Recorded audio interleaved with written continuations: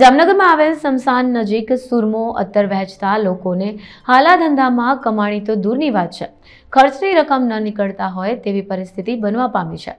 Mall કરચન અને દર્શનાર્થીની સંખ્યા ઘટતા હાલ કમાણી સામાન્ય થઈ છે.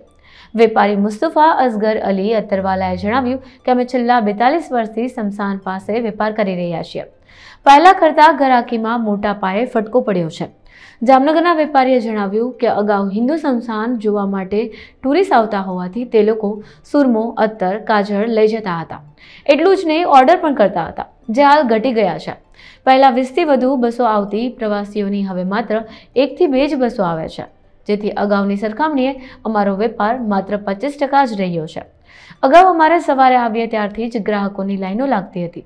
લોકો રાહ પણ જોતા હતા. પરંતુ હવે અમે ગ્રાહકોની કાગડોળે રાહ જોઈએ છીએ. મારું નામ છે અલી હુસેન સલમાજી અખ્તરવાળા એસ કે અખ્તરવાળાથી અમે પ્રખ્યાત. છીએ અમે જામનગરનું હિન્દુ સ્મશાન છે, આપણી છોટી કાશી કહેવાય છે જામનગરનું. અહીંયા ફોર્ટી એટ અડતાલીસ વર્ષથી અમે અહીંયા ધંધો કરીએ છીએ.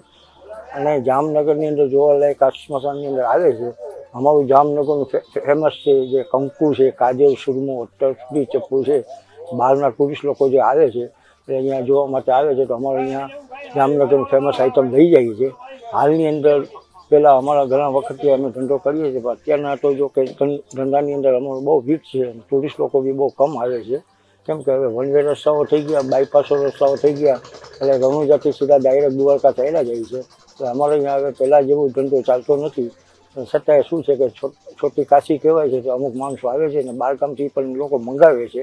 અને અમારું પોતાનું મેન્યુફેક્ચર છે અત્તર સુરમો કાજલ કંકુ, જામનગરનું ફેમસ.